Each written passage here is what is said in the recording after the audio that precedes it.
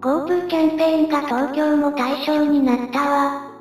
まだ見ぬ世界遺産を訪れる大チャンスなんだぜ。とはいえ、どこに行くかも迷うのよね。霊夢は前回くだらないソーシャルゲームで時間とお金の無駄をしてしまったので、自然の中で浄化された方がいいんだぜ。自然と言ってもね日本の世界自然遺産って、ほとんどが離島で生きにくいのよねそれが、日本で唯一、本当にあるものがあるんだぜ。知ってるわ。青森と秋田の県境にある白神山地でしょ。でもあれって世界遺産登録基準も9、生態系の5つだけしか適用されてないし、知床や屋久島に比べたらなんか地味なのよねそんなことないんだぜ。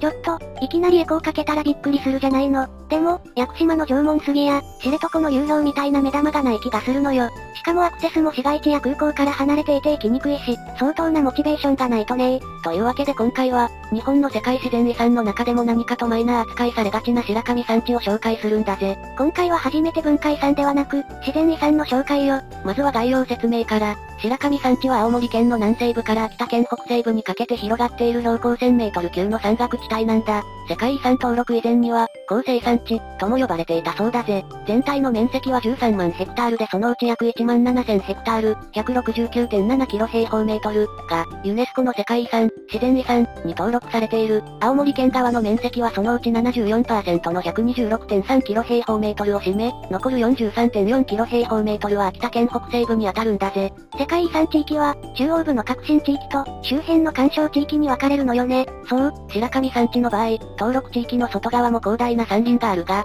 実際に世界遺産として登録されている場所は林道などの整備が全く行われていなかった中心地域となるんだ。世界遺産登録地域は、登録前後に禁漁区に指定されたのよね。漁を行うには漁業協同組合と森林管理所長の許可が必要となったのよ。これによって伝統的なマタギ文化の消失という危機もあるんだ。マタギについてはウプ主も大好きな文化なのだが、世界遺産としての価値に面した時、考えざるを得ない問題なんだぜ。マタギについては、2004年直木賞受賞作、開口の森、という作品を参照よ。ウプ主も昔、この小説を食い漁るように見た記憶があるわ。大正から昭和初期にかけて、秋田県阿仁町に生まれたマタギ、松橋の波乱の人生を書く作品なんだ。自然に対する畏敬の念をテーマとしている作品で、絶対に見てほしいんだぜ。ところで、白神山地は1992年に日本で初めて暫定リスト入りして、その次の年である1993年に日本で初めてのユネスコ世界遺産に登録されたのよね。そうなんだぜ。ちなみにこの時、法隆寺地域の仏教建造物、姫路城、屋久島も同時に登録されてるんだぜ。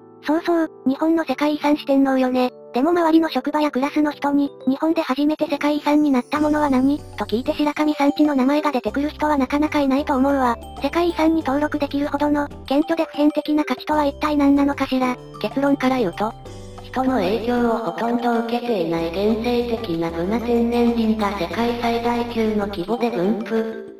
していることなんだぜ。日本固有種のブナを主とする森林生態系が広がり、多様な植物群が共存し、クマゲラ、日本カモシカ、ツキノワグマなど、豊富な動物が生息している生態系が評価されたんだ。ブナ、ブナって別に東北地方だけの固有種じゃないわよね。本州以外に四国や九州でもブナの木を見たことがあるわ。ポイントは、原生林ということ、それから広範囲にわたって現存しているということなんだぜ。かつては雪が多い日本海側の山地と奥羽山脈の瀬領近くでも天然林に近いブナ林が広範囲に広がっていたんだぜ。でも、第二次世界大戦後、大規模に伐採されてしまったんだ。映画の平成たまるき合戦ポンマルコを思い出すわね。人間様の活動のために木を伐採し、それを居住区にしたり、木で家を建てたり。なんて愚かなのかしら。でも白神山地ではどうして伐採を免れることができたのかしら。保存活動が起こったこともあるけど、それ以外にもそもそもブナの木は、椎茸栽培以外にはあまり役に立たない木であったため、と言われてるんだぜ。古くから、ブナの木は重すぎて川に流して搬出することが困難なこともあったのよね。小取引には向かない資材だったのよ。その上、腐りやすい、加工後に曲がって狂いやすい、という性質もあったわ。日本ではブナの伐採後に杉が植えられて、ブナ林が縮小したという背景もあるそうだぜ。日本人の現代病、花粉症の悪夢の原因はこれね。無計画な植林のせいだわ。私、杉大嫌い。逆にこの動画を見てブナが大好きになりそうね。ちなみに、冒頭で述べた通り、世界遺産の登録基準は9が採用されてるんだぜ。自然遺産は、文化遺産と登録基準が異なるのよね。そうなんだぜ。世界遺産の登録基準は全部で10個あるんだ。そのうち、1から6が文化遺産、7から10は自然遺産としても受けられているんだぜ。これまた一つ一つが長いのよね。覚えるのが大変だわ。でもとにかく、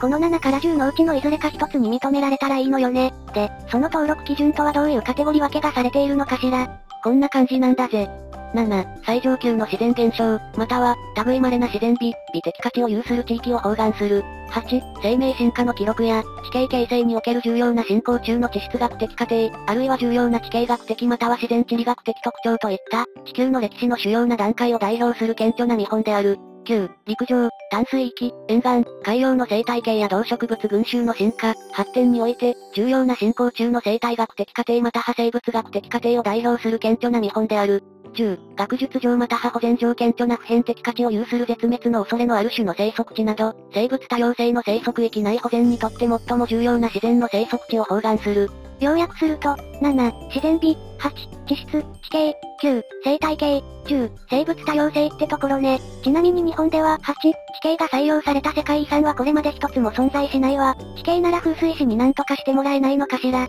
霊夢、風水師は別のゲームの話なんだぜ。すっかりゲーム脳に侵されてしまっているのでさっさと白神山地で浄化された方がいいんだぜ。ちなみに、世界遺産の登録基準は、2005年までは自然と文化で個別に分けられていたわ。自然遺産で1から4、文化遺産で1から6ってね。でも、文化遺産と自然遺産が統合された新しい登録基準に変更されたわ。割と古い文献を紐解く場合は現在の登録基準と異なる数字で表現されているから注意よ。そんな既得な人がウプ主以外にいるかわからないけどな。ちなみに、文化遺産と自然遺産の両方の基準で登録されたものは複合遺産と言われるわ。この複合遺産として登録されているものは、日本では存在しないけどね。世界でも30件にも満たないから相当レアだけどね。話を元に戻すけど、白神山地は、自然遺産の登録基準級である生態系として、顕著な普遍的な価値が認められて世界遺産に登録されたんだぜ。ユネスコの海外版ホームページに、登録基準級が適用された理由はこのように記載されているんだぜ。白神山地はブナが優勢で、多様な植生があり、氷河期に分布を南にシフトすることで単純化を免れ、ほとんど手つかずの自然のままのクライマックスの荒野の森になりました。宿泊施設は白神山脈の約3分の1を占め、急な斜面の丘と山頂の迷路で構成されています。この地域の乱されていない荒野の状態は、東アジアでは野生で稀であり、日本には、敷地内に見られるような大きな未開編のブナ林を含む他の保護地域はありません。外因性の開発のないその手つかずの森の広がりは、人口密度が高く、人口の多い日本とアジア全体でこの物件を際立たせています。何よこれ、ほとんど直訳じゃないの。何よ宿泊施設って、日本のサイト内でこれについて詳細に記載しているところがなかったんだぜ。宿泊施設ってのは、プロパティ、つまり物件ってのが誤訳されてしまったんだぜ。まあ、東アジアのような人口密度が高い地域で、古代から人の手が入っていない状態で広範囲のブナ林が残っているのが稀ってことよね。確かに、日本って手つかずの原生林ってほとんどないのよね。1998年に世界文化遺産に登録された、ことならの文化財、なんかは、春日原始林が構成資産に含まれてるんだぜ。でもこれは春日大社の式年遷宮の建て替えのために隣接する原子林が残されていたからってことで文化遺産としての登録だからな。そうね、あと個人的に思うのは、ここって富士山みたいな名称地ってわけでもないのよね。